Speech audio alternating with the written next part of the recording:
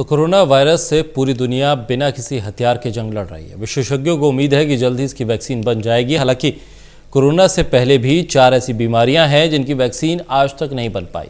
कौन कौन सी ऐसी बीमारियाँ हैं? देखिए इस रिपोर्ट।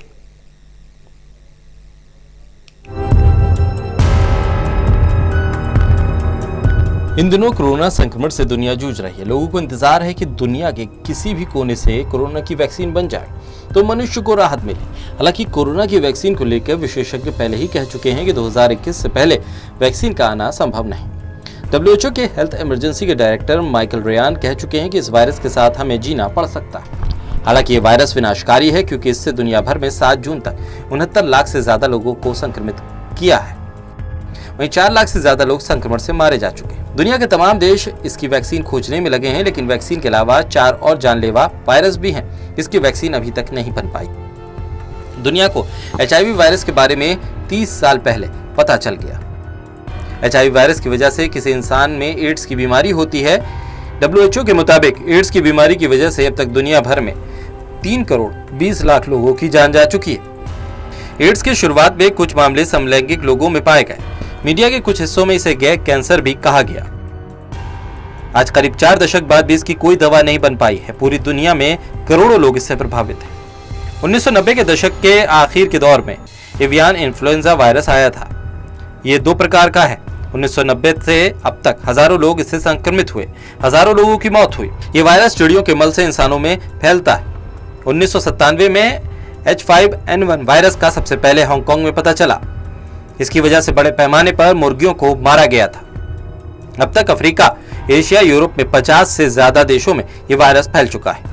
मई 2013 में चीन से H7N9 का पता चला था।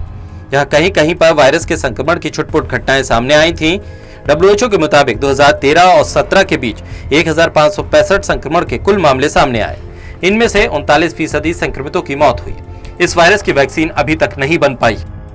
सार्स कोवी एक प्रकार का कोरोना वायरस है।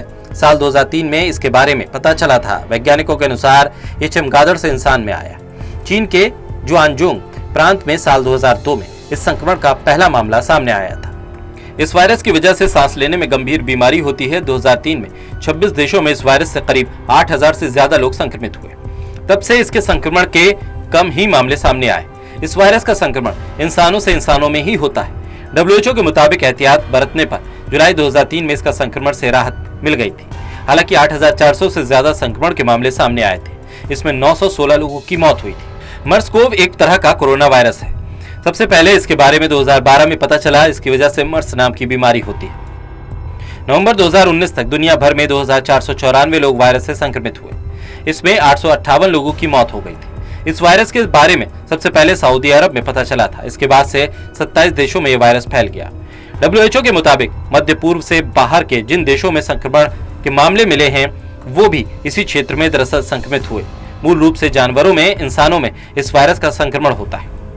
आज पूरी दुनिया कोरोना वायरस के खतरे से एकजुट होकर लड़ रही है। इस महामारी को इसलिए भी खतरनाक माना जा रहा है क्योंकि अभी तक इसे खत्म करने के लिए कोई वैक्सीन नहीं मिली है। दुनिया में इससे पहले भी कई बीमारियाँ महामारी के रूप में फैल चुकी हैं, जिसे पूरे विश्व ने एकजुट होकर इन बीमारियों को हराया। ऐसे में इतिहास को देखते हुए उम्मीद की जा रही है कि हम जल्द ही कोरोना वायरस को भी जड़ से समाप्त कर देंगे। Special desk, total news.